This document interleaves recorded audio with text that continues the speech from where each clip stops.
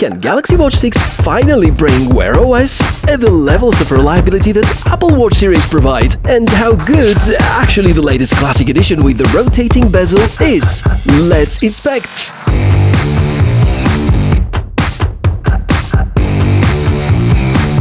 Okay, here's the thing. Uh, this year, the gain of wearable devices is quite huge, and it's probably going to be the first year where Apple are going down to just 26% of the market share, not because they're selling less Apple Watches, but because other brands like Samsung are selling considerably more. And the good news for us is that Wear OS is suddenly an interesting operating system again, mostly thanks to TicWatch and Samsung. So this episode is going to be about Galaxy Watch 6 Classic, one of the most interesting wearables this year, and of course, we want to see how it actually performs after all the software and hardware upgrades.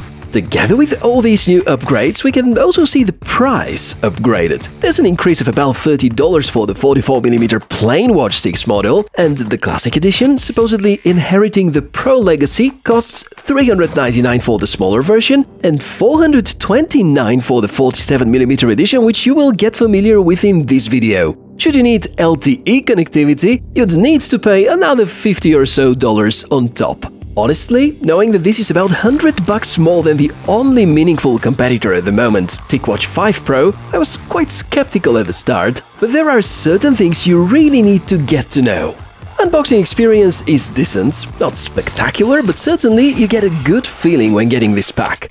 Just as usual, the early orders receive some gifts, and Samsung have been running numerous campaigns in order to let you buy this watch at a price lower even than the Gen 5 series at launch. You can certainly notice a lot of similarities between those two generations. The rotating bezel might look like a new thing, but if we go back three years ago, this very idea was already part of the Watch 3 running Tizen OS, and it's been my favorite ever feature of a Galaxy watch. So great to see it back. Sapphire crystal glass, thinner bezel, circular frame with sleek stainless steel, IP68 water resistant sounds like there are a lot of things that Samsung did in the background in order to improve.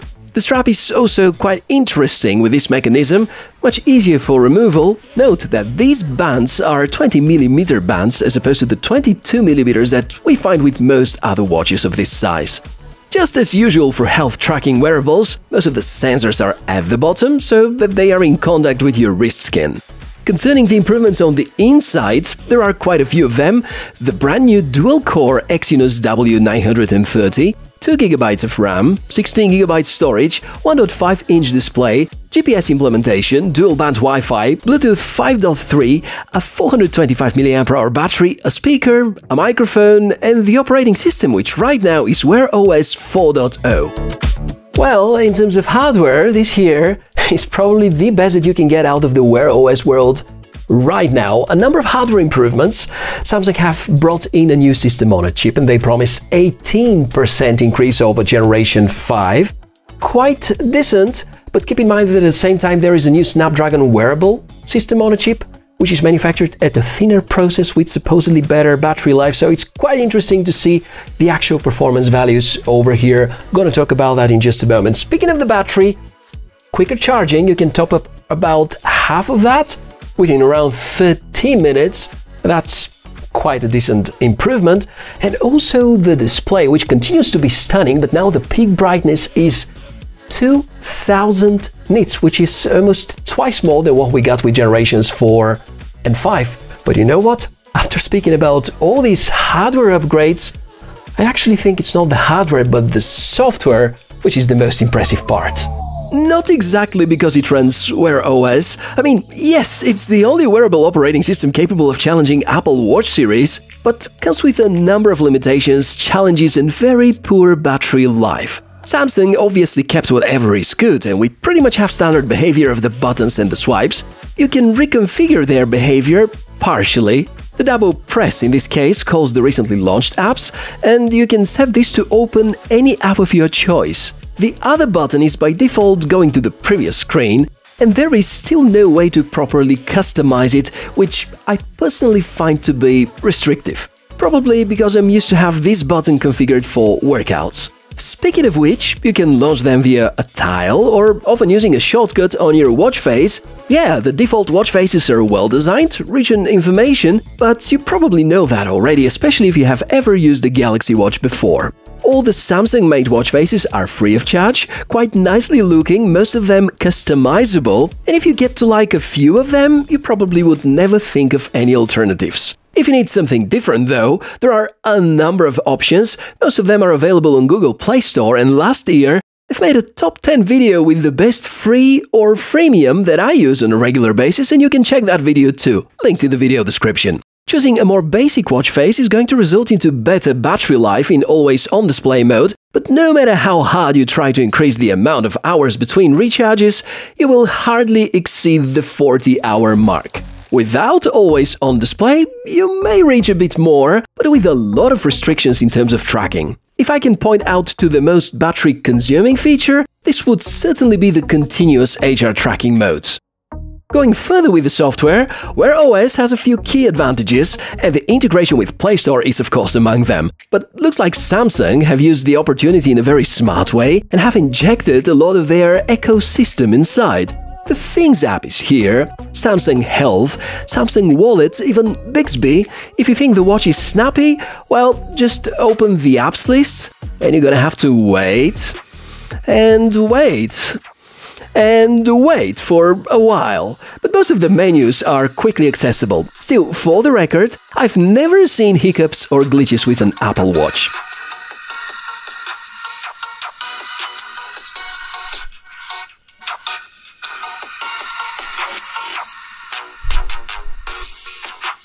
Even the quite extensive ecosystem, which to be thoroughly reviewed we may spend hours, let me focus on the meaningful and unique features and those of them that other vendors still don't have, such as the ability to easily upload photos and videos to the watch. Oh yeah, the applet in the app is so convenient and you have ready-to-use gallery and music player apps. Looking at you, TicWatch Pro 5. And something that I see for the first time with a Wear OS smartwatch, and it actually worked, the ability to connect the watch to a new phone without making a factory reset. The procedure duration is about 10 minutes. Sadly, there once again are a few different software pieces that you need to install on your smartphone altogether in order to get the full picture. It's still as annoying as before, but let's say, given the good new features, I'm ready to focus on the positives mostly. Galaxy Wearable is for the smartwatch controls. It replaces the need of using the Wear OS app and is tidy and super functional. You can do a lot of customizations that are usually a no-go for other Wear OS models. Then we have the Samsung Health app, which is summarizing the available health tracking data, showing you details about your workouts and so on, I really wanted to tell you that the health tracking is already superb and extremely accurate, but despite all the improvements, there still are some things that need sorting out before it becomes perfect. For instance, sleep tracking is sometimes wrongly measured, and although it was more accurate than what I got with Amazfit Cheetah that I've tried a few weeks ago, it sometimes fails to detect the moments when I'm awake at night. The GPS tracking is on the other hand superb, especially if you have the LTE edition, it will be among the best ways to do sports by following routes, and even if you just use the watch for productivity enhancer, it's still gonna count because you can use Google Maps and other navigation forms without needing your smartphone. In a matter of fact, think of the Galaxy Watch 6 LTE edition as a possibility to be completely independent from your smartphone and covering a substantial amount of its functions. Concerning the rest of the health tracking data, you can see many details about heart rate, temperature data, blood oxygen saturation, even blood pressure and ECG can be tracked if you're in one of the supported by Samsung for this feature countries. ECG is being displayed in yet another smartphone app called Samsung Health Monitor. If you already feel that I'm complaining, let me carry on. The remote camera app is also limited by region and model. Google Assistant is not installed by default, but you can actually replace Bixby with it. There is no ANT Plus support. The battery life is shorter than with the Generation 5, and unfortunately now the price is higher. Bottom line, Samsung actually make the Wear OS world once again fun to use, effective and interesting. And right now, if you have a Galaxy Watch together with a Samsung Galaxy smartphone, you're going to get experience which is very close to owning an iPhone with an Apple Watch. And that's actually quite a good news. On the other hand, if you already have Galaxy Watch 4 or 5, I'm not really sure Jumping to Generation 6 is totally worth it unless you're fans of this rotating bezel, which in my opinion is the best for the series and of course only present with the Classic edition. And uh, one more thought, that despite those software efforts by Samsung, if you go outside their ecosystem and probably out of the TicWatch ecosystem, Wear OS in certain ways continues to feel like a mess. So I really think that Google should finally start working seriously on all these problems that community is pointing to and hopefully now with the growing user base, they're actually going to listen to these people. So that's my take on the Galaxy Watch 6 Classic Edition. I hope this review has been useful. If that's the case, I think we deserve a like. Subscribe to the channel for more cool tech inspections and I'm Michael, as usual going to point some ways to support my work here on the channel in the video description area.